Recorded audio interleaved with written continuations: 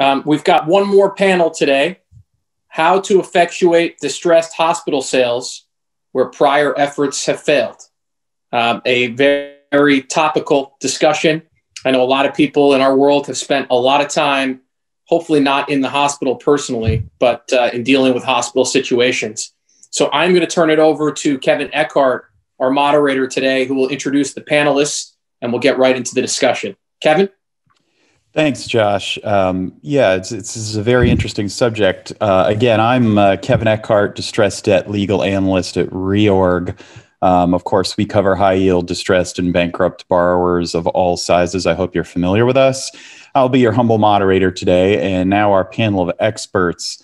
Peter Chadwick of Berkeley Research Group has served as Chief Restructuring Officer, CEO, COO, CFO, and advisor for distressed companies um, and as advisor to our trustee for liquidating trusts in a variety of industries. Peter has extensive experience in leading restructurings in a number of industries, uh, and most importantly, for our purposes, extensive experience in effectuating sale transactions. His debtor experience spans the spectrum from the largest U.S. companies to middle market proprietary companies, including as restructuring advisor to and eventually interim CFO for Verity Health, which will be our case study today. Uh, Tanya Moyron is a partner in Dentons Restructuring, Insolvency, and Bankruptcy Group. Tanya has significant experience in bankruptcy, corporate re- restructuring, and litigation, in which she has represented debtors, creditors, and equity committees. She has also advised buyers and sellers of assets in bankruptcy and receivership cases. Tanya represented the debtors in the Verity Health Chapter 11 case.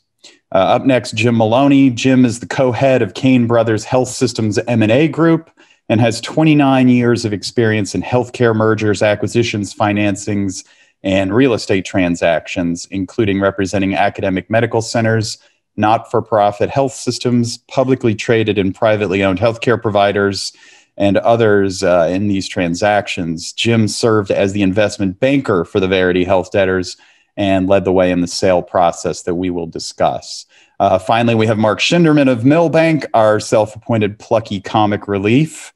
Uh, Mark is a partner at Milbank and has almost 30 years of experience uh, restructuring companies inside and outside of bankruptcy and handling the purchase of assets out of, outside of bankruptcy. Mark represented the unsecured creditors committee in the Verity cases.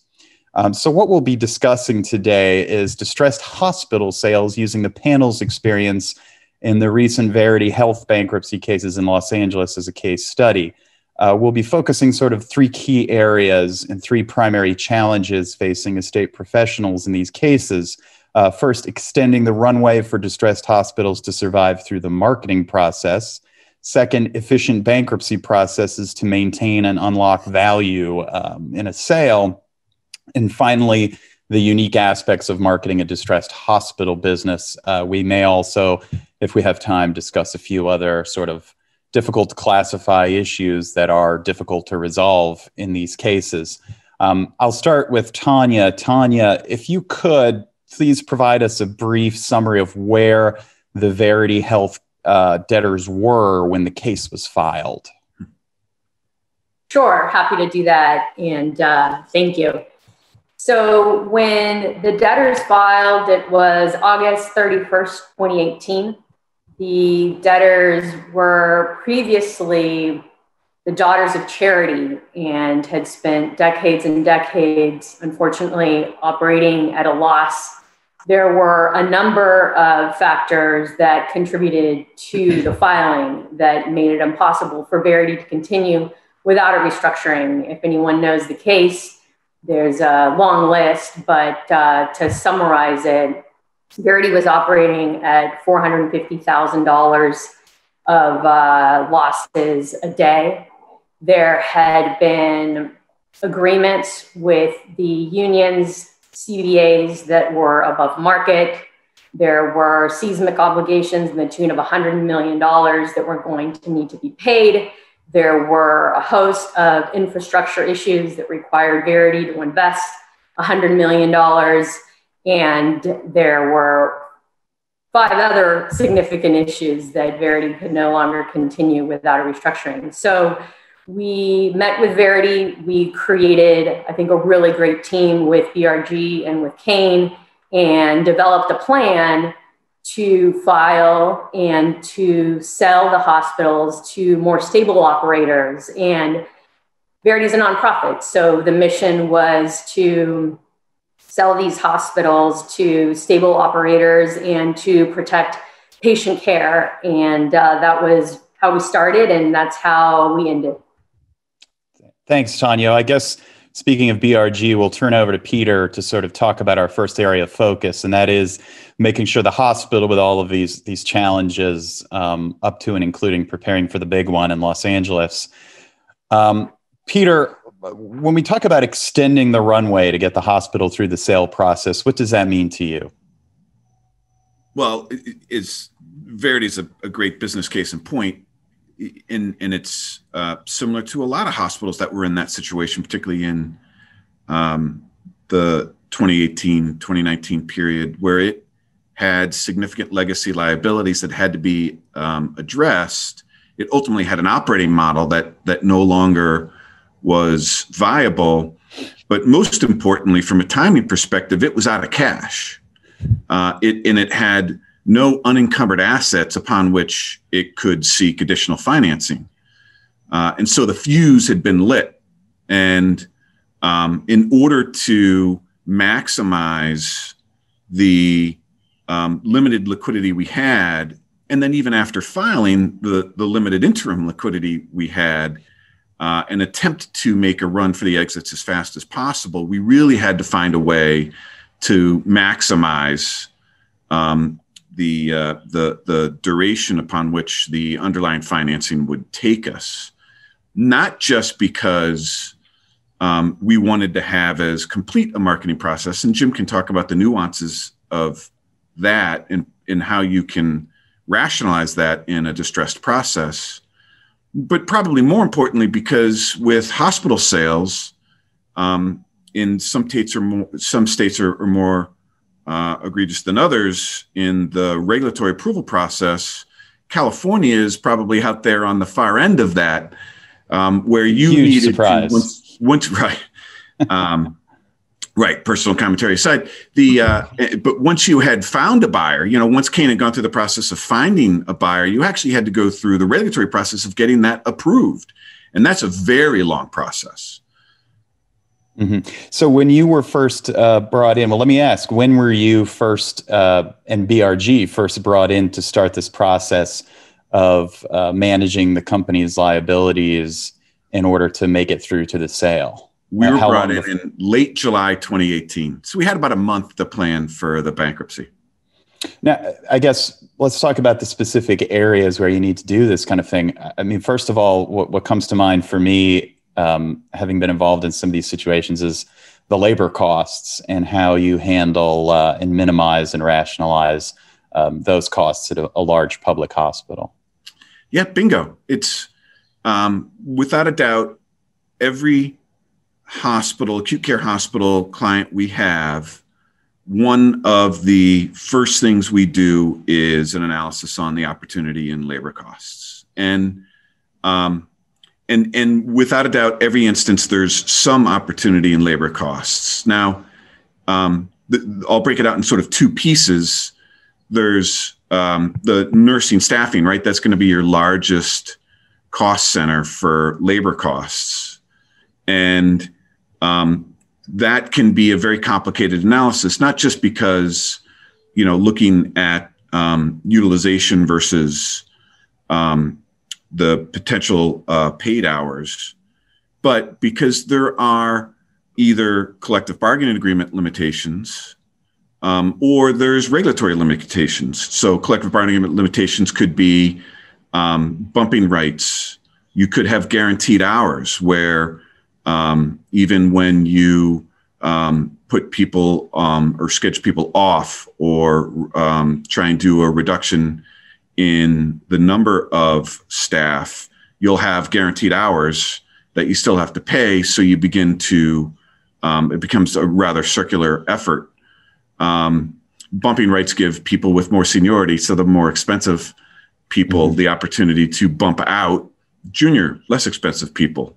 Um, state regulatory requirements are m- maybe as simply explained as saying um, you know, there's staffing ratios for for certain uh, service areas like uh, the ICU um, that may have a two to one or three to one staffing ratio that you have to maintain if you have a licensed bed.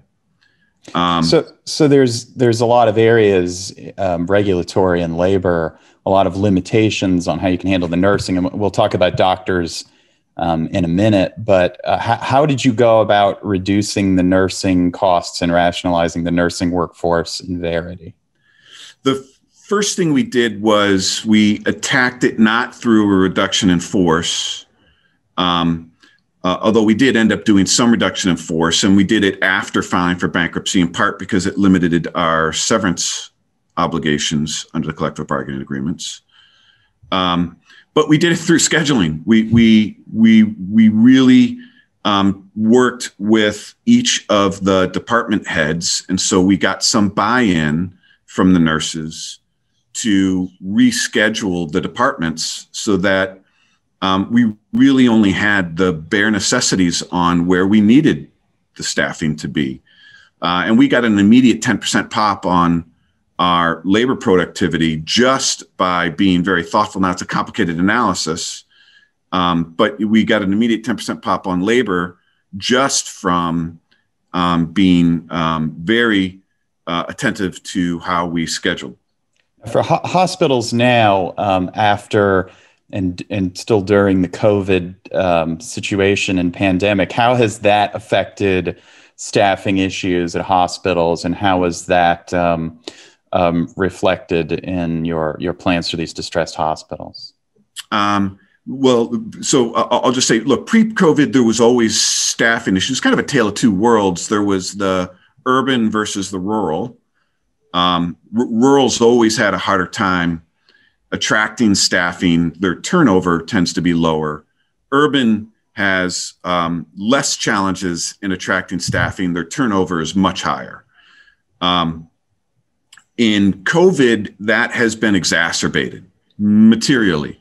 In fact, staffing, um, not just in acute care hospitals, but in skilled nursing and, and other providers as well, is, is one of the single biggest operating issues facing our clients. Um, we uh, had um, the benefit of having excess staffing that we could draw upon at the initial stages of COVID. And then we really had to reach out of state and and and grab travelers. And we were quick to grab travelers. We overcommitted to travelers to make sure we had the requisite capacity um, to ensure we could uh, maintain our, our hospitals, particularly our acute care beds. Um, and there is a real cost to it. Um, but, you know, as, as Tanya can tell you in detail, one of the things we did at the same time was were very aggressive in negotiating for supplemental um, uh, funding from other sources, state sources mostly, to assist in underwriting that um, incremental staffing need associated with COVID. Now, now, what about other expenses, uh, back office expenses, IT, that kind of thing? Did you was that a, an area of focus? That that seems more similar to other cases, but um, how did you handle those reductions? Yeah, no, that's a great point. And, and, and, back office is the the the easier place. Um, there's uh, less regulatory and CBA restrictions, right? Um, and there's the obvious target areas. You hit on it. IT is a huge one. Um, there's the um, the areas that are I'll call non-core, given what we're doing. You know, we're in a sale process, an expedited sale process. So um, things like uh, strategy, um, uh, FP&A, um, uh, one thing we do, in fact, with all our clients, this goes beyond just Verity, uh, our, our, health systems, is duplicative executives, where you have multiple CEOs, CFOs at every single hospital. Um, we rationalize those. So did um, Verity was that a situation at Verity? Did they have my my recollection was they had five or six different hospitals. Did they have duplicative executives? Yeah, they had executives. They had a, a duplicative executive team at every hospital. Hmm. So what what about uh, move, moving on to a sort of different kind of of ways to extend the runway? What about liquidity and cash management? Yeah, and then there's there's look the, the everything that I say should be taken into the context of. Um, I always tell my clients hospitals are um, extremely sensitive ecosystems. Everything you do has to be taken into that context, and so um, the kind of treasury discipline that you would anyone in my position, right, a uh, uh, a restructuring advisor would undertake in a client has to be done with the recognition that um, you cannot have a negative impact on the delivery of care.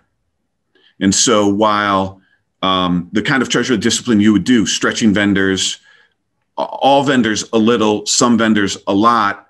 Um, you really need to do that um, by understanding that uh, you can't negatively impact your drug supply, for instance.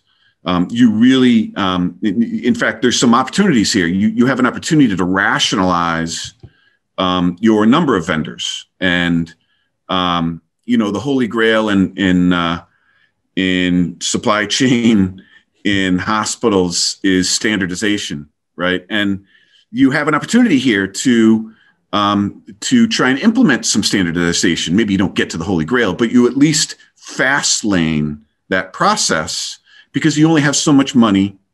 You can only spread that money so far with your vendors. And so you're going to pick winners and losers. And one of the ways to pick winners is not to have 12 orthopedic suppliers, uh, but to have two mm-hmm. or three it's it sounds to me like these hospital situations in many cases you have really unique efficiency challenges um, going from a, an entity that hasn't really been paying as much attention as it should to these kind of issues to having to suddenly really ramp up um, this kind of management task. Yeah and look especially in nonprofit hospitals right? Their their primary focus is the quality of care.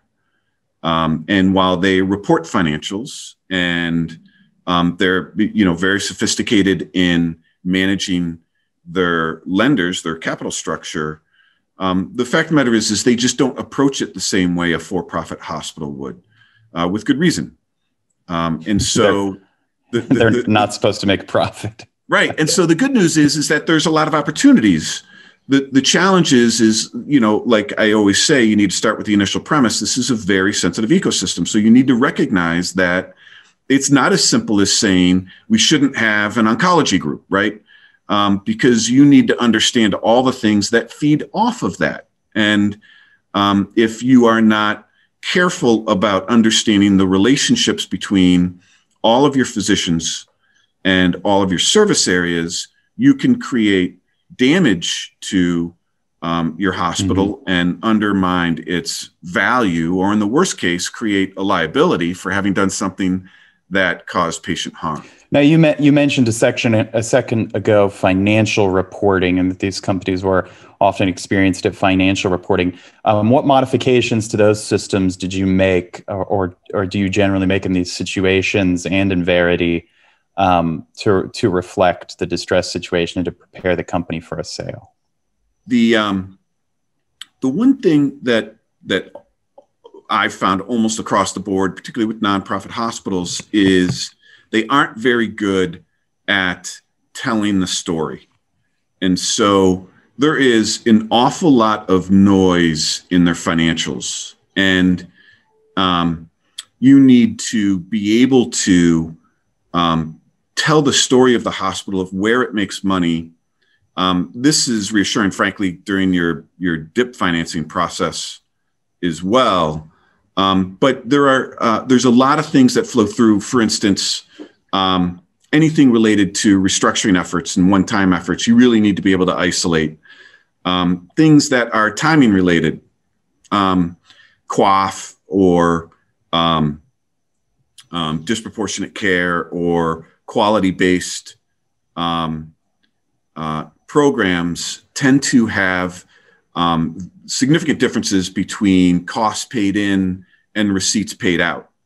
Uh, and so you need mm-hmm. to balance the timing of those so people really appreciate what the the sort of ordinary course run rate of earnings is in that instance. So, so you and and just one last thing on on the runway. You mentioned a second ago um, eliminating uh, non-core or unprofitable business areas, um, and you also mentioned that sometimes you can't reduce nursing staffing or or reduce service under um, under regulatory regimes. So, h- how do you balance those out? How how do you do you shut down um, non-core businesses and operations um, in this environment where you have strict limits on what you can and can't do? Well, first of all, you attack the things that don't have a regulatory impact first. Um, uh, a lot of hospital systems I've worked with have um, health and wellness centers, um, underperforming clinics. You know, they have these cost centers that are nice to have, um, and maybe serve a larger community health benefit, um, but they don't serve the underlying um, value of the business well. And those are things that you can turn off immediately. And they have an immediate impact, not just on your liquidity, but on your value proposition to potential buyers. You do a lot of the dirty work that they wouldn't then have to do. Mm-hmm. Um, but then you can also attack your portfolio of services. Um, and, and you I, should look at your portfolio of services. Sorry, go ahead, Tanya.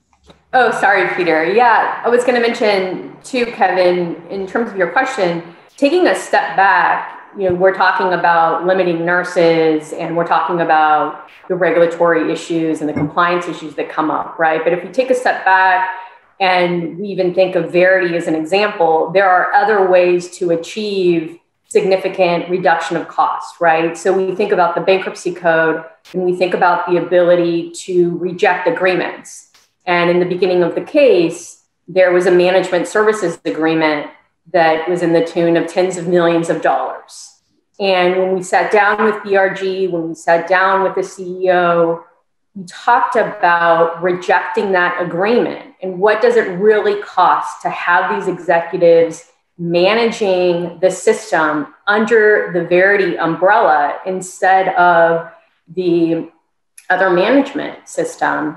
And we were able to reject that management agreement and save millions and millions by really just bringing the executives under the, the Verity umbrella. And so, you know, I think that yes, we reduce labor costs, but there's always always the reality that at the hospitals you're going to have to have certain nurses, certain doctors. I mean, that's critical to maintaining the value. But creatively, you can use the tools in the code to cut costs by rejecting, for example, we did the management agreement. Yeah, that, well, that's that's an that's an excellent transition, Tanya. Um, to talking about the bankruptcy issues. But before you go further, let me just add the the standard disclaimer that the cases are still pending um, there are some litigations that are ongoing and appeals as well. So, um, what we're talking about here today is educational, and we're not going to get into um, too much the sort of background on this because uh, the cases are still pending. But um, we'll talk as much as we can. I, am sorry I interrupted someone who was jumping in there. I assume it's Mark. Yeah, it is me. Um, so, so look, to put greater context on what Tanya said, is this was a non-for-profit organization, but it had a management contract that was very healthy, run by a private enterprise and private investors. And so they're trying to get a return on the management agreement, de facto equity. So there's a lot of, I don't want to say fluff, but a lot of excess cost built into the management agreement. The other side is contending that the rejection damages exceeded $180 million. I mean, that's what, what Tanya and her team were able to shed. On the COVID issue that Peter answered, it was a very mixed blessing, not only to create staffing and medicine, but for a while it cut off the beds, right? There was no elective surgeries being done in California. So you had a very big unexpected hit to revenue at a time we were already losing a lot of money. You know, the good news, bad news is at the beginning of the pandemic, California wasn't hit so bad. So we had a lot of empty beds. And so uh, Jim and Peter and Tanya and Sam Maizel who's listening in negotiated with the state a per bed charge with a certain number of minimum beds that we would hold available for the state and COVID patients. In certain facilities, um, it was easier to do that because we didn't have as many elective surgeries. The last part, and, and, and this is really important, um, and Peter points this out all the time. We're dealing with patient lives, right? It's we can't make a mistake. We can't run the risk of not having the right color sneakers or enough of extra large shirts. We have to have enough beds and medicines and, and medical care. And that becomes very, very challenging. And then you get into the last issue is the community aspect of it. So, well, Peter said you could close down clinics. I assure you, it wasn't that easy. You had communities and, and town elders and politicians very involved. And then we operate, especially in California, but it's not unique to California, under a regulatory system that says, as a condition to your operating license, you have to provide the following services at a minimum. And so that definitely hampered the ability of the debtor and the creditor teams to maximize value in a, a completely optimal way. Last point there, and again, with your caveat, this is for educational purposes the focus of people in Sacramento is very different than people are trying to account for bottom line, right? It is socially desirable to have neonatal oncology emergency rooms, but those are not always cost effective. And so when Jim went to sell the assets, Peter went to manage the cost, and Tanya and Sam went to court to, to justify all this. We always had those competing concerns. And you mentioned it's it's an interesting point. You, there seems to be a lot of of mention of, of essential services, whether required from a regulatory standpoint or because that's what hospitals and doctors do. They take care of critically ill patients, especially these kind of of large uh, not per, not for profit systems. Um, how do you and and Tanya mentioned rejecting contracts, and I think this where this may be where this sort of feeds into the code. How do you balance those essential services and the, and the contracts and vendor relationships and labor relationships that are needed to provide those services with uh, services that are more profitable for the hospital um, that you know you, you need to have those services available or you you will have to shut down can't get a sale done and you won't be able to provide the essential services such as um, you know elective surgeries that kind of thing i mean when you, when you were in there tanya how did you and the, and the team and peter handle picking among the essential vendors and the contracts that would be assumed with this conflict in mind? Well, as to the last aspect, Kevin, of your question, that was a very comprehensive process that we went through in the beginning of the case, right? I mean, choosing among vendors, figuring out what supplies, you know, you have to have. I think in my mind brings up kind of the critical vendor process that we went through. And to Mark's point, you know, we're not selling shoes, we are saving lives, right? And so we had a lot more leverage with the bankruptcy court in terms of the amount of money that we would get for the critical vendor pool. But then figuring out who, who is going to be on that list. I mean, I will tell you, and I should probably turn over to Peter. Peter spent weeks and weeks with you know all of the different teams at the six different hospitals to try to get the list down to something that was manageable. I think when we started, Peter, I mean, I think that everybody at Verity said, okay, let's do these 10,000 contracts or something astronomical, right? And there's not an easy answer to that because um, it, it's a cumbersome process. And Peter, do you want to speak to that a little bit? Because really you spearheaded mm-hmm. that with Rich and everybody else. I mean, look, there's there's definitely opportunities here. Um, a, a lot of these, particularly non-for-profit hospitals, have very long lifespans, right? So they've accumulated all of these vendors over the years. So this is an opportunity to rationalize that. Um, we we obviously started with the things that were critical to care. Um, and we identified those vendors that were essential to care. Drugs is always the obvious answer, right? um, we, we were going to do everything we could to make sure Cardinal's distribution was was uninterrupted. Um, and then you move on to things that are less critical, and you take advantage of and you lay out all of your vendors by what they they supply. And in some cases, we we um, took advantage of the opportunity to rationalize vendors across the system that had never been done before. Right, so they have six hospitals. Each hospital had their own vendor relationships. So now we have an opportunity to rationalize that and have one vendor for six hospitals. And now I'm suddenly getting much better rates on that vendor I have a healthier relationship with that vendor, um, and I'm not having to pay six people critical vendor payments. All right. Well, t- well. Speaking of vendors, let's talk about the doctors. Um, it's my understanding that the doctors are generally independent contractors. Um, Peter, uh, how does this dynamic work in these cases in dealing with these groups of doctors and trying to keep the right ones happy until you can get the hospital sold? Yeah, it's look. Um, if if this was a longer term engagement, you would do a, a, true referral analysis on all the doctors and understand who, um, you, you know, are essential doctors. But in this case, you know, what we knew right away was um, that there were um, physician relationships where the physicians weren't even bringing any patients, so they weren't even operating at our hospitals. Um, and so we knew there was some rationalization opportunity there.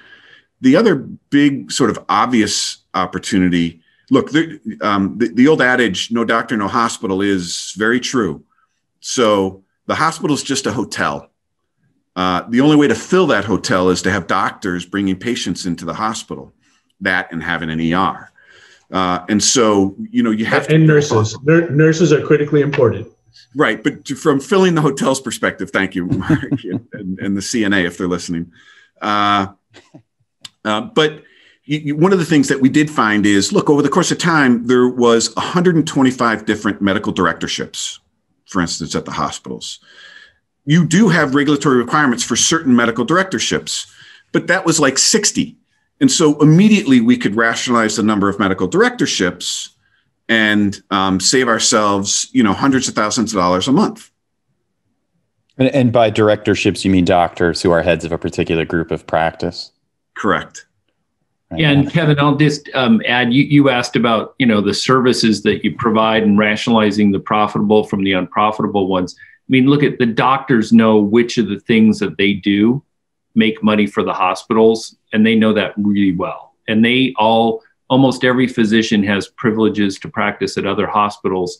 And so, you know, you, you have to pay attention to what the doctors want because if they start referring all of their lucrative surgeries to the, you know, hospital across the street and leave unprofitable medical cases in your hospital, it has a big financial impact. And so, you know, th- there's there's an assessment about how you manage this stuff from sort of an, you know, financial analysis you also have to think about what are the what are the how do you keep the support of the physicians and i think i think in this case the leadership team did a really good job of of keeping most of the right doctors engaged and um, and supportive for the long run of keeping that hospital healthy so it would be successful once we got to the conclusion of the case yeah, well, it's. It, I remember in my own experience, I, I represented some would-be critical vendors as Tanya might remember from a number of extremely annoying squeaky wheel emails. Um, and one of them made a machine that uh, performed hip Im- hip transplant or uh, hip replacements. And the doctors were, uh, and, and we were trying to be named as an essential vendor, and there were doctors that were getting phone calls from patients that wanted to play golf in a couple weeks that needed to get their replacement done, and then those doctors were putting pressure on the hospital. So it's it is an incredibly uh, complex uh, chain of causation when it comes to what's essential and what's not in these hospitals. Well, Tanya, back going back to you, we you mentioned let's talk about the contracts rejection and, and the renegotiation process. You mentioned the management contracts. What, what other kinds of unique executory contracts um, exist in these situations? Well, if you're DHCS, the state, you think that your Medi-Cal provider agreement is an executory contract that entitles you to cure cost, right? And so Medi-Cal took the position in Verity that any assumption and transfer of their agreement, you know, would require payment of cure costs. And, you know, that's what would happen outside of bankruptcy, right?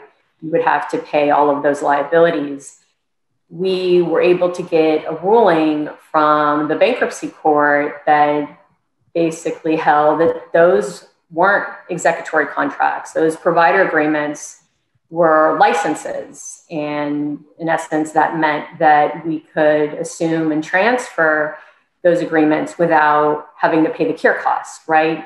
And in terms of being in a Chapter 11 case where liquidity is uh, constrained, that was really important, right? Another important aspect of that is outside of bankruptcy, if you were trying to sell Verity, which really couldn't have happened without a bankruptcy, you wouldn't have been able to transfer those agreements without successor liability.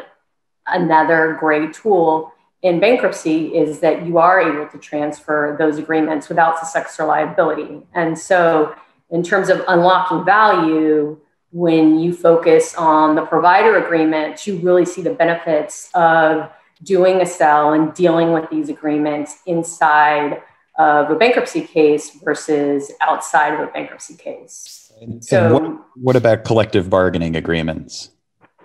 Collective bargaining agreements are interesting, right? I mean, with Verity, that was one of really some of the most burdensome agreements on the system. And inside of the Chapter 11 process, you're obviously able to utilize the bankruptcy code to reject those agreements. There's obviously special provisions under 1113 compared to 365. But really, what's important is that a cell of the hospital brings you to the table with the unions and gives you an opportunity to have negotiations about these collective bargaining agreements and about how there can be concessions made so that you know they could be modified. And a buyer that's not willing to take them as no buyers were willing to take them as is could end up with an agreement that's more favorable. And it, it's really a great forum to be able to have those negotiations with the unions. To Mark's point, what's more important than nurses during a pandemic?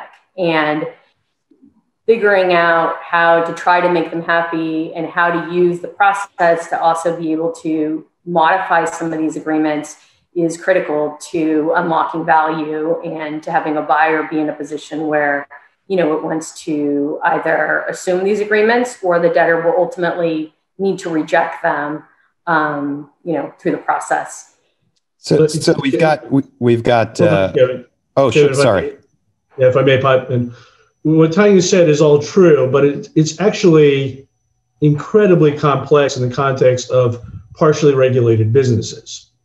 In California, the unions have a disproportionate amount of power, and in a, in a committee that's made up of unions, doctors, trade vendors and tort claimants and the PBGC, you have a lot of disparate interests. So if you went to the attorney general and said, here's how we're going to downsize, they point to regulations under which we operated, promulgated by the then senator, now vice president elect, right? So it becomes a very political issue. The unions don't want to attack politicians in Sacramento. The politicians in Sacramento want to protect their voter base, the unions. Um, there are not one union, there are four nurses' unions all at different hospitals.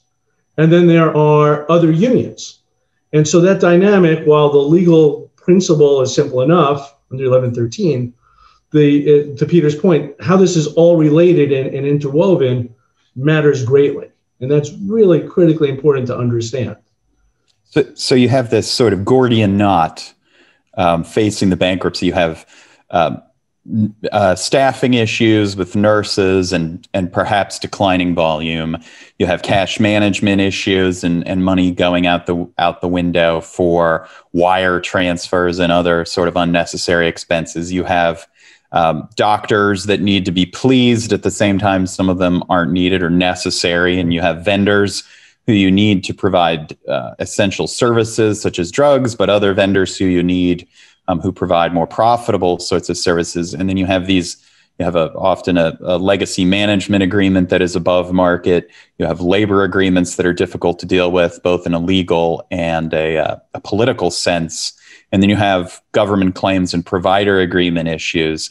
And you, you get into bankruptcy and you've got Peter working on reducing the, the, the legacy vendor count and, and addressing the financial reporting and the staffing issues. You have Tanya getting contracts um, assumed and rejected and litigating with the, the state over payment of its claims and getting rid of, of or negotiating CBAs with the threat of getting rid of them. Um, let's move over to Jim now. In, in terms of the marketing process, you've been handed a, a set of solutions um, for these very difficult problems, or at least partial solutions. How do you go about the process of, of taking it the last mile and getting a buyer who is willing to close on an acquisition of, of one of these hospital systems? Well, um, you know, it, it's all uh, it's all a function of landscape. And so Peter talked about extending the runway, but the runway was not flat; it was really lumpy, and there were periods of time when we'd get big payments, and there were, you know, Tanya talked about the the sort of monthly, um, the daily, you know, loss that the system was incurring, but it wasn't, you know, every day. There were these very lumpy payments that came in.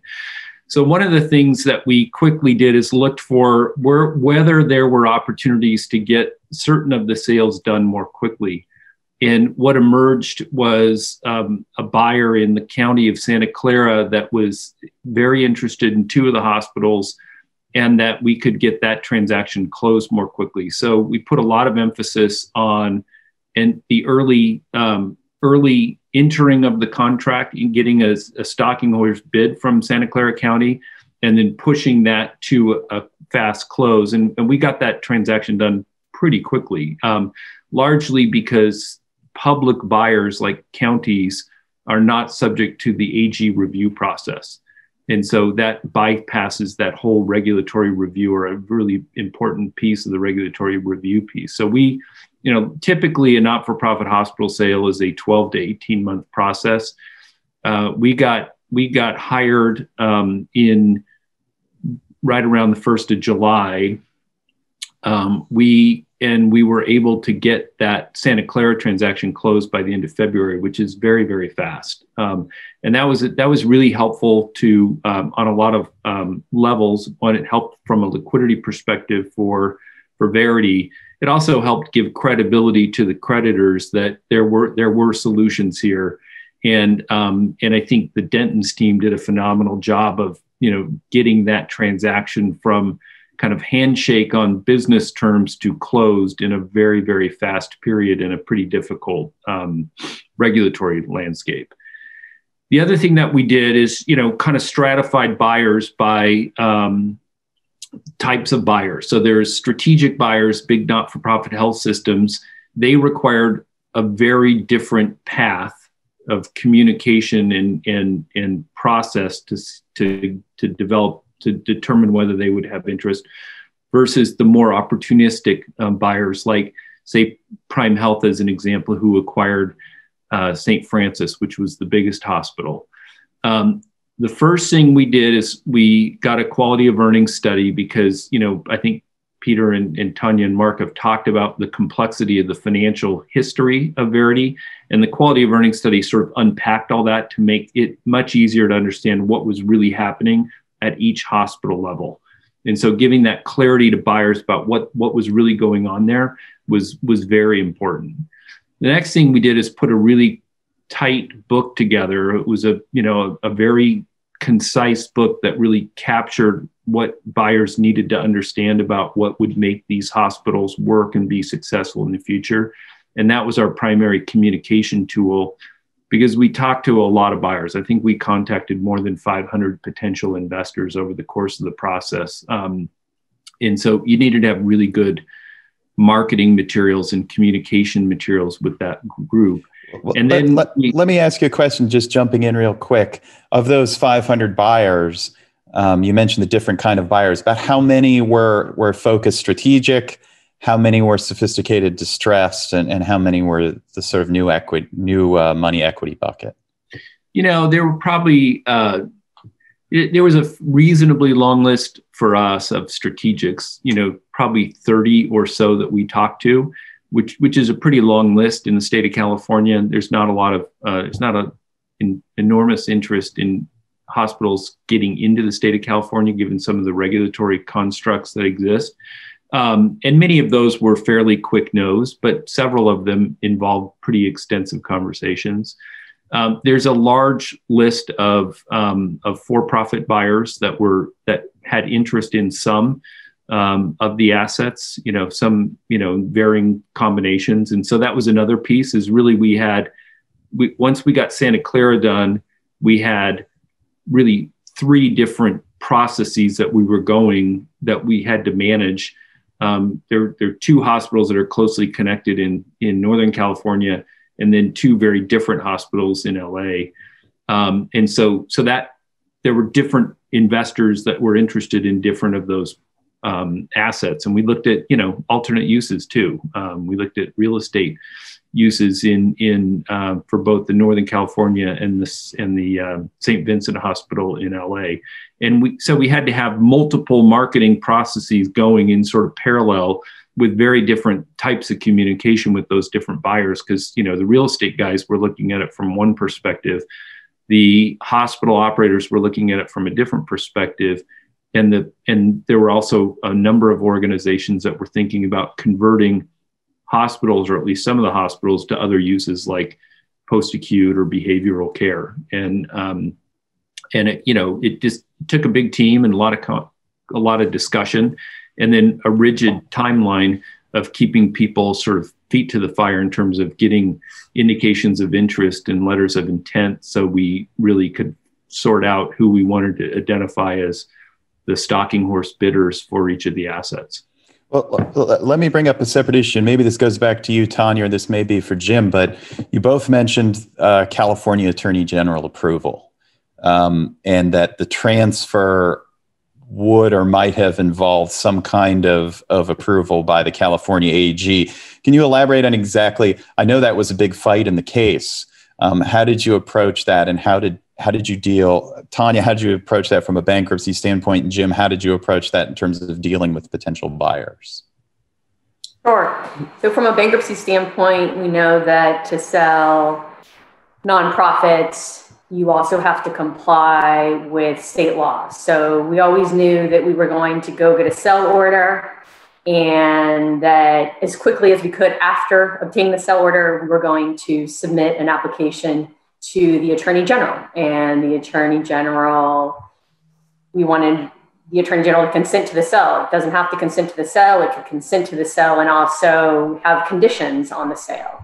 And we always knew that that was going to be a cumbersome process. The application is thousands and thousands of pages and asks, you know, about the history, asks about the transaction, asks about other buyers. It's all under state law, but uh, it's a cumbersome process. You know, it was 95 days plus 45 days. So we're looking at a four month process. And so really is different from any garden variety chapter 11 case because we don't get our sell order and then we're done, right? the most complicated part comes after getting the sale order. And we anticipated that there would be conditions on the sale. I don't think it's a secret. And you mentioned, you know, about the fight that oftentimes the attorney general issues conditions that really are not concerned with the economics of the hospital. A lot of the conditions makes it very difficult for the hospitals to operate at a profit. I mean, they're regulating the number of beds. There's a lot of constraints on the hospitals with these conditions. And so, what we had to do is we had to negotiate an agreement that anticipated that the attorney general would impose conditions that the buyer might not like. And the buyer might walk because those conditions would amount to millions of dollars that the buyer didn't want to deal with. And so, the idea and what we did and you know i think that we'll see this in a lot of cases and we've seen it in some cases is that the asset purchase agreement provides for what happens in the event that the attorney general issues conditions different than the buyer wants to deal with and what we did is we said we would have an opportunity to talk with the attorney general if that didn't prove fruitful if we weren't able to convince the attorney general we'd go to the court and we'd use the code 363 to cut off the additional conditions that really were tantamount to successor liability. And that is what we did. Unfortunately, all of our persuasive skills when it came to negotiating with the attorney general didn't work. And we had to go get the orders cutting off the conditions. As soon as the court entered the memorandum, for example, in one of the sales, we heard from the attorney general's office. They didn't want that precedent. So we reached an agreement to vacate the memorandum and they agreed to the conditions. And so there's a lot of negotiating that went on, but the real negotiating and the real agreement unfortunately didn't happen until we obtained the order. But you know, the victories are really important to future sales. I think inside and outside of bankruptcy, and knowing that there are some limits to what the attorney general can do in connection with these sales. And even to Jim's point, when we sold the hospitals to the county, the statute was clear as day that they didn't review that sale, but they disagreed and we had to get an order. And so I think there's a lot of helpful precedent now going forward for these kinds of sales and I think maybe Jim, you wanted to add probably something. Well, yeah, I think um, yeah. Fortunately, Tanya and and Sam Maizel's persuasive um, arguments did work with the court, uh, which was helpful. But um, but I think um, to the point about how it influenced our process, you know there were a lot of things that were different about our process than just what are the what's the purchase price and and what's the structure of the deal. We also had to get clarity from each of the bidders around how they wanted to deal with collective bargaining agreements and what kind of ag conditions would they accept and what they wouldn't accept. So there's all those um, you know we had to contemplate all those hurdles that would be covered you know once we had a contract had to get clarified through the process. And I think working really closely with with the BRG folks, with the leadership team at Verity and with Dentons to make sure we understood what those were and could be communicated clearly. So we had really good documentation with the buyers about what they would live with and what they wouldn't live with. And I think that helped make the case with with at the with the bankruptcy court about the question of AG review. But I mean, the bigger issue with the AG piece was just the uncertainty in the time. And that, you know, that it's such a long review process. And in the state of California, the AG doesn't just get to say, we approve it or not. As Tanya said, they can hang Christmas, you know, ornaments on it and say, we want this and we want this and we want this. The attorney general does have an important regulatory responsibility, but it's a political entity. And as Mark indicated, it has constituents that are really important to it. And a lot of those Christmas ornaments look like things that would be attractive to some of those constituents. And so that's all part of the effort that you've got to just have a disciplined process to set the stage for being able to get where you need to get in, in each increment. Jim, I, I hate to cut you off, but we have to move on. We've run out of time. It's been a fascinating discussion. Sounds like um, there, this is one of the more complex areas for distressed professionals to have to maximize value and manage a sale process and a little bit like uh, building the airplane while you fly it as they say um, especially with regulatory requirements. Um, let, uh, let, let me add we're going to move on now to uh, the next session and that is honoring the 2019 turnarounds and workouts outstanding young restructuring lawyers.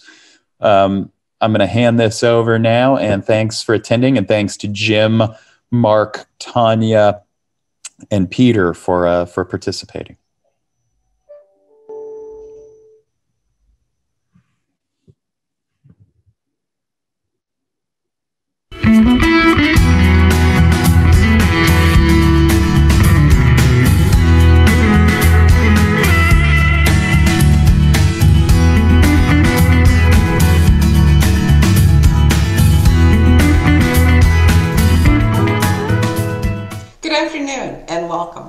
I'm Stephanie Wachowski, and I'm delighted this afternoon to be presenting Turnarounds and Workouts Awards for the Outstanding Young Restructuring Lawyers of 2020. Every year, Turnarounds and Workouts selects the bankruptcy lawyers under 40 who have most moved the field forward in the preceding year. This year's honorees represent a cross section of bankruptcy practice. Rachel Ringer, Eric Stadela, and Jonathan Canfield are being recognized for their representation of official committees and ad hoc groups. Darren Azman is being recognized for his development of significant clients internationally. Erica Weisgerber is being recognized for litigation and her representation of investment banks. Michelle Maman, who is an honoree for the second time, is being recognized for notable representation in the senior lender area, as is Gabriel Morgan. Gabriel, as well as Greg Fox, have also had significant debtor side representations during the past year. Some of the honorees are new partners or relatively young in the field, including Angela Libby, Joseph Larkin, and Daniel Forman. Others are established bankruptcy practitioners, such as Jennifer Marines, who is the co-chair of Morrison and Foerster's Global Bankruptcy Group, as well as, as its Global Finance Group. Jennifer is receiving this award for the fifth time, which is an all-time turnarounds and workouts record. Jonathan Canfield is receiving this award for the fourth time, which is also a turnarounds and workouts record. And now it is my great pleasure to introduce 2020's Outstanding Young Restructuring Lawyers. Thank you so much, Stephanie. Uh, I'm honored to be recognized as an outstanding young restructuring lawyer this year. Uh, Turnarounds and Workouts is a phenomenal organization uh, that really provides a lot of value to restructuring professionals. Uh, and they've certainly been a critical part of my growth as a lawyer. So thank you very much. Hi, thanks, Stephanie. Um, look, I just it, with so many deserving nominees, it's it's a real honor to again be selected as one of the outstanding young restructuring attorneys for 2020.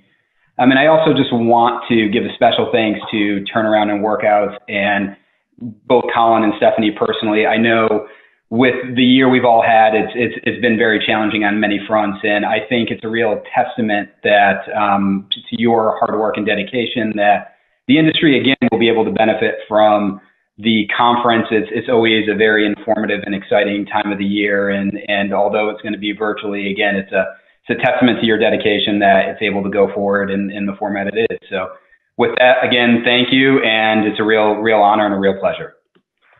Thank you, Stephanie. And thank you to Turnarounds and Workouts for this prestigious recognition. I am truly honored to be mentioned in the same category as the other outstanding young restructuring lawyers receiving this award. When the announcement was made, the phone calls, emails, and LinkedIn messages alone demonstrated the wide reach Turnarounds and Workouts has in our fast growing and increasingly critical corner of the legal world. I'd like to thank the entire business reorganization and restructuring department at Willkie for nominating me and for being my home since I graduated Georgetown Law School. I'd especially like to thank Rachel Strickland and Matt Feldman, who have given significant time and energy mentoring me from the very beginning. Finally, I must thank my family, especially my wife, Lindsay, for, the, for their unwavering support in helping me to build the fulfilling career I have to this point. I look forward to next year's event, where hopefully we'll all be able to gather and catch up in person. Thank you. Thank you, Stephanie. Um, it is an honor. I, I, truly appreciate the recognition by Turnaround and Workouts. Um, especially honored to be considered for this award uh, alongside the, the very deserving, um, my fellow deserving candidates. Um, I work with many of them, uh, and um, it's truly an impressive class. Uh, I'd also like to thank all my colleagues at, at Goodwin Procter um, for their support over the years. Um, uh, it's been a very interesting year for sure. I'm presently doing this in my in my office here with my guitars and my neighbor using a chainsaw. So um, here's to a, a, better 2021 and um, I look forward to seeing a lot of you in person in the in the months to come and working on deals with you all for years to come. Thank you to Turnaround and Workouts for this honor. It is always an honor and a privilege to represent and work alongside members of this community and my colleagues at Davis Polk, and that is only more true in these unprecedented times. This year, the stakes certainly felt higher than ever, and the good outcomes felt more complex and harder earned than ever, and I'm ever more appreciative of the trust that investors and companies place in us as advisors. Well, I look forward to the day when we can force you all back into conference rooms to stare at each other until you all reach deals. In the meantime, I hope that everybody has a safe and healthy holiday season. Good afternoon and thank you. Uh, a big thank you to Turnarounds and Workouts for choosing me as a recipient for this award. It is truly an honor to be considered in the same class, uh, even if it is indeed a virtual class this year, with the other honorees receiving this award alongside me. My path has crossed with many of them throughout my career in this field, and it is truly an honor to share the stage. Um, in a year like 2020 and with all of its challenges, I truly feel even more grateful for my Cadwalader colleagues and my peers at the other firms alike, as well as for the good fortune I have of getting to do new and exciting work for clients every day, particularly in these trying times. So truly, thank you again um, to Turnarounds and Workouts for this recognition as a young restructuring lawyer, especially as I now transition out of the young category. I endeavor to continue to deliver my best for all of you each day and wholeheartedly appreciate your support. To all. Thanks again and cheers to a better 2021. Thank you, Stephanie. Um, I just want to thank Turnaround and Workouts and the Beard Group for this distinguished award. I know that keeping things normal during a pandemic is not easy, and I really do appreciate the members' willingness to dedicate so much of their time to get to know the candidates, our practices, our achievements. And I also want to congratulate my fellow 2020 class. Some of us have been in the trenches together for years, and there are others of you who I know by reputation, of course, and who I very much look forward to working with in the future. And of course, an immense thank you to my firm, Morrison and Foerster, and my partners who have always, always supported my career, my development, my visibility in the firm and in the industry. And a specific shout out to the chair of our firm, Larren Nashelsky. Yes, this is number five, and no, I did not doctor my birth certificate.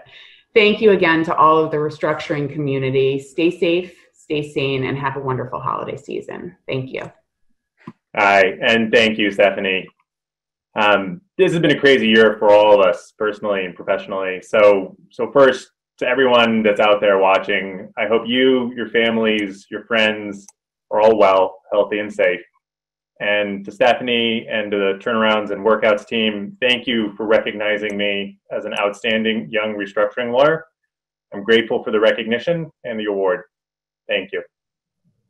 Thanks, Stephanie. Um, and thank you to Turnarounds and Workouts for uh, what is an incredible honor. Um, very proud to be among the list of my fellow restructuring lawyers, uh, which is just a very impressive list, and um, I very much appreciate it. Uh, obviously, want to thank my firm, Kramer Levin, um, and my partners and colleagues, associates, counsel, special counsel, um, who are all you know an integral part of our team at Kramer Levin and with whom I could not do my job.